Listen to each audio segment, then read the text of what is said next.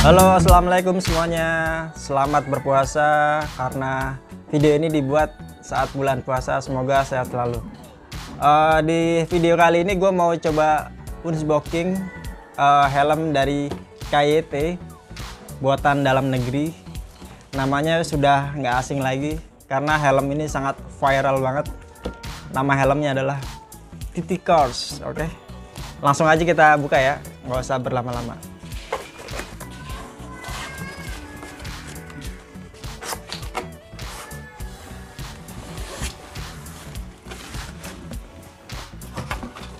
Nah, dalam kardus ini nantinya bakal dapat uh, buku sama stiker KYT.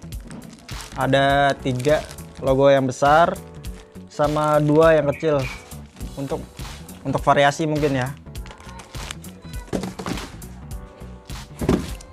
Oke, langsung aja kita buka.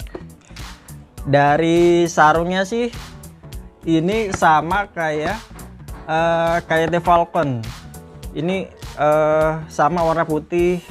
Ada tulisan KYT www.kythelmet.com terus di sini ada tulisan world class helmet. Di sini juga sama KYT oke gua buka dulu ya. Tarang. Iya, ini adalah helm TT Course dari KIT buatan dalam negeri karena kita harus mencintai produk-produk lokal yang nggak kalah keren ya kan? Jadi helm titik course ini ada tiga varian.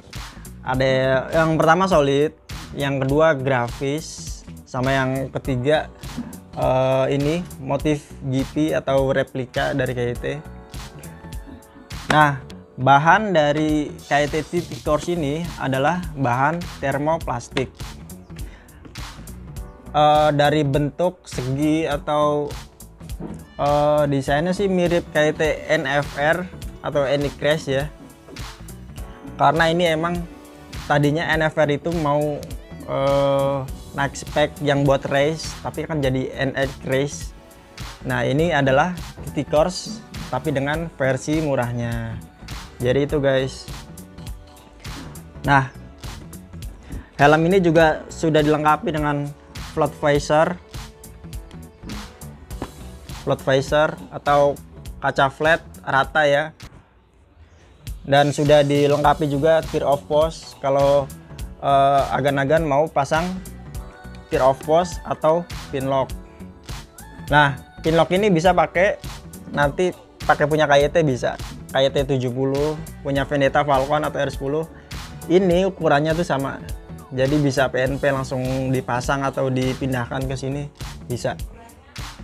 Nah di depan sini uh, helm titik kursi ini ada 6 ventilasi udara. Ada dua di depan bisa dibuka tutup. Di sini ada tiga lubang dengan ada bulat-bulatnya di tengah bahan plastik kayaknya nih. Lalu di depan juga ada lubang. Di sini ada 1 2 3 4 5 6 7 8 8 lubang. Bakalan kerasa banget sampai dalam uh, kalau ini dibuka. Lalu ada ventilasi juga di uh, bagian tengah kanan kiri. Bisa dibuka tutup. Sama satu lagi di belakang untuk exhaust supaya udara yang masuk sini keluar sini biar udara yang di dalam nggak panas. Nah jadi fungsinya ventilasi udara ini adalah kalau agan ini buka nanti udara masuk ke dalam bukan ke dalam kabin ya tapi membuat e, saluran udara di dalam yang nantinya menarik hawa panas di dalam saat agan pakai lalu dia keluarkan dari exhaust ini jadi biar uh, pakai helm itu adem nggak pengap di kepala biar nggak keringetan. Ini sih uh, worth it banget ya. Mengingat harganya juga nggak terlalu mahal uh, cukup lah untuk nabung satu bulan atau dua bulan. Nah, ini salah satu uh, desain GP atau replika uh, sama kayak Della Porta ini. Jadi ada dua ya yang motif replika. Jaume Masia sama Della Porta. Nah, bentuk uh, helm KT TT Course ini ter terinspirasi dari helm racing sih ya. Karena uh, desainnya sporty banget sangat race sekali tapi helm ini juga tidak direkomendasikan untuk balap. Walaupun sudah double daring tapi kayaknya sebenarnya uh, tidak menganjurkan helm titik course ini uh, dipakai untuk balap.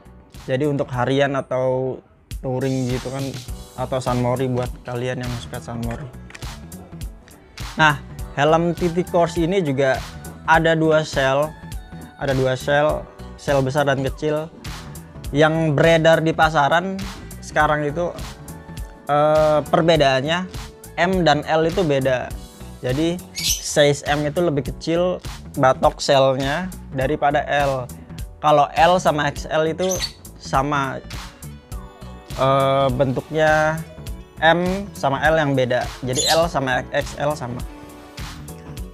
Berat helm TT Course ini uh, di varian belakangnya sih sudah tertulis ini CSL dengan bobot berat 1450 plus minus 50 gram. Jadi helm ini itu sangat ringan. Jadi nggak uh, bikin berat di kepala kalau lagi sunmori atau lagi touring jarak jauh. Ini sih uh, value banget ya. Oke kali ini gue mau coba bongkar semua helm titik course ini dari busanya sampai uh, dalam-dalamnya. Gue mau coba buka. Nah di bagian dalam ini sudah ada tali strap ya. Sudah double daring. Namun yang saya bilang tadi tidak direkomendasikan buat balap. Karena KYT nya juga sudah bilang seperti itu gue buka dulu. Oke. okay.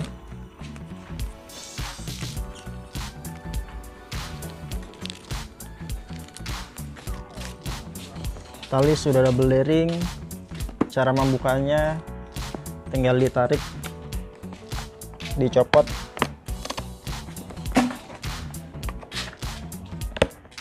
Kancingnya lalu kita tarik aja. Ini sebelumnya nggak pernah dibuka ya. Terbuka ini jadi uh, dalam busanya ada tiga kancing uh, dua di depan sama satu di belakang. Sama ini kreketan ya. Sama ini yang buat masuk ke sini nih. Jadi di sini ada lubang yang uh, untuk masuk sini biar pas biar nanti nggak mudah copot.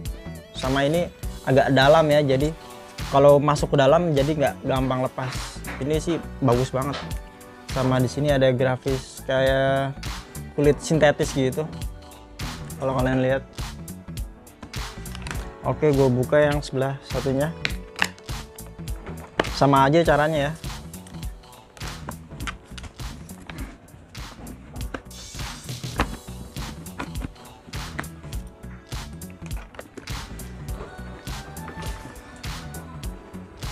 Terus kropetnya juga bakalan buat gue buka tinggal ditarik aja.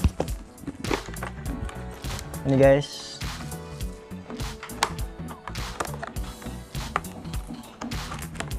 tinggal ditarik aja. Langsung buka.